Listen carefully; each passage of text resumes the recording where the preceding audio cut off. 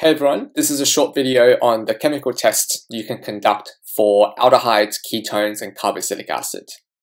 If you haven't watched the video on aldehydes, ketones, and carboxylic acids, I recommend watching that one before this video. Similar to alcohols, the dichromate oxidation test can also be used to distinguish between an aldehyde and ketone. This is because an aldehyde can be further oxidized by this reagent to produce a carboxylic acid, as you can see the bottom here, propanal is oxidized to produce propanoic acid. And in contrast, the ketone cannot be oxidized as it is the final product of oxidation.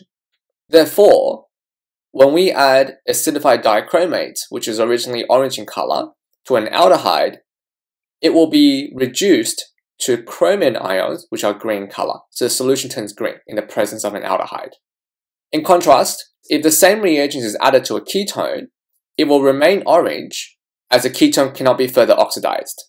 This test is a very simple and useful one, but it can only be conducted if we have excluded the possibility of an alcohol in the solution.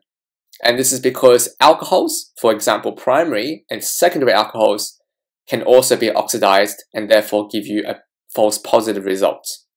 Similarly, an acidified solution of permanganate ion can also be used as a reagent. In this case, when added to an aldehyde, the purple color of permanganate decolorizes, while it remains purple in the presence of ketone, as there's no oxidation reaction. Chemical tests for identifying a carboxylic acid are mainly associated with its acidic properties. The go-to chemical test is a reaction with a carbonate or hydrogen carbonate, as this reaction produces carbon dioxide that results in the formation of bubbling in a test tube. This test is very specific to organic acids and therefore does not work with any other functional group we'll be learning in the module. Now, the formation of this gas, carbon dioxide, can be further verified by bubbling it in lime water, which is calcium oxide. This is called the lime water test. Carbon dioxide, when reacted with calcium oxide, produces calcium carbonate, which is a precipitate, and therefore it makes the solution very turbid and milky. A second option to identify carboxylic acid is simply using blue litmus paper and dipping the paper into the solution containing the acid.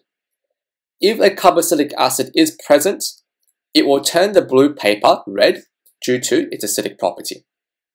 And again, this result will not be positive for other functional groups we'll be learning in this module. So it is very specific for carboxylic acid.